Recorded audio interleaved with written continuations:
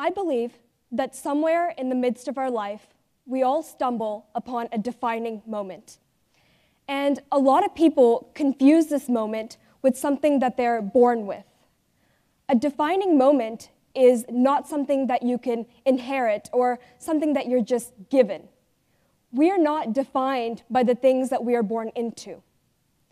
Instead, who we are is a collection of our memories, our personal experiences, and the connections that we make. I experienced my first defining moment around four years ago during the summer between seventh and eighth grade. I was born in India, and I moved to the United States when I was two years old. But I frequently travel back to visit my family, so I travel back and forth quite often. And it was on one of these trips during the summer between my seventh and eighth grade years that I first got involved with science research. Now, my grandfather in India is a politician, which means that he's always traveling to different parts of the country, attending conferences, visiting different communities. And that particular summer, I decided to join him. And we visited several rural communities in India where the local residents were facing a water crisis. People in these communities had to walk four miles every single morning to get water that wasn't even clean. Now, being a science student and being particularly interested in environmental science, I of course knew that not everyone in the world had access to clean water.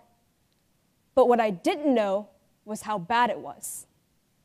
Watching hundreds of people stand in the scorching heat every single morning to get water from the one available tap and witnessing the numerous overcrowded rural hospitals filled with people who were facing illnesses from water contamination really changed my perspective of the world. This unacceptable social injustice compelled me to want to find a solution to help the people in these communities. So, for the rest of the summer, I spent my time researching water contaminants and existing filtration methods to try and come up with some way to develop a cheap water filter. And when I got back home, I got in touch with professors at the University of Arkansas in Little Rock, and I found a way to develop these water filters using materials like terracotta clay and sawdust, which are abundant in India. And once I designed these filters, tested them, and perfected them, and was completely satisfied with them, I mailed them back to India to be distributed among the local residents. And upon receiving thank you letters back from the residents, I knew that I had found my passion.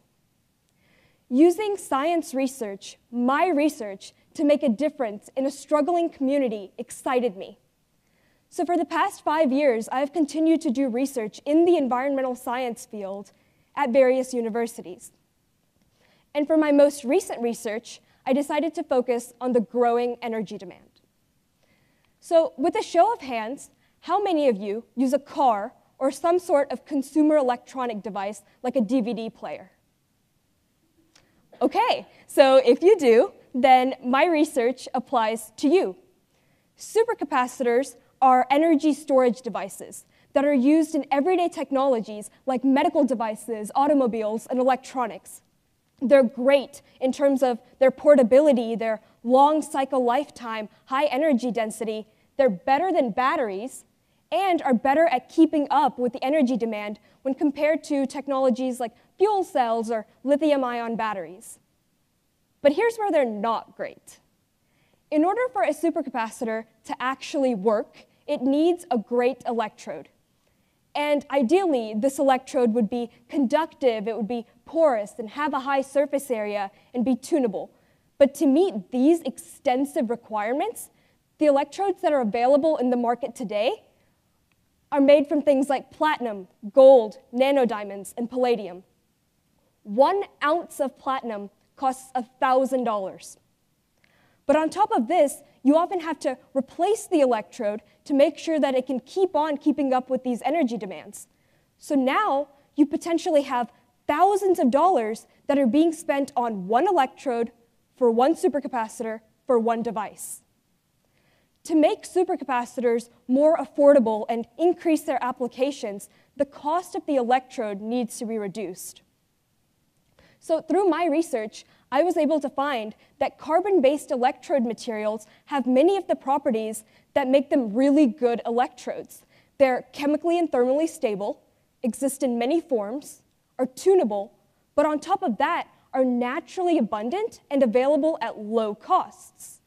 So, through my research, I designed this carbon based electrode using natural materials that I found in my pantry.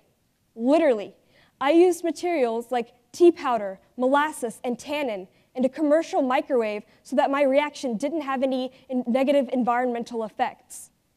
And my electrodes last longer than most of the electrodes that are available in the market today and have 90% of the efficiency rates as the more expensive platinum based electrodes. But the best part my electrode costs less than $1. Thank you. and I want you to think about that because even though the existing electrodes are so expensive, supercapacitors are already so widely used in military technology, in medical devices, and in commercial applications like cars. Imagine what would happen if my less than $1 electrode was implemented into existing supercapacitors. Imagine how much cheaper everyday products would become. This could revolutionize the energy industry. The applications of supercapacitors would grow beyond imagination, and the cost of the electrode would no longer be a limiting factor in the research and implementation. Now, over the course of this, my journey hasn't really been an easy one. You know, science research is not a quick and easy process that'll automatically yield results. In fact, when I first started doing research in 2014, I didn't have access to a sophisticated laboratory. I was 13 years old when I first started, but I didn't let my age deter me in my interest to pursue science research. This project alone took me around 10 months, and I didn't see any indication of success until the fifth month.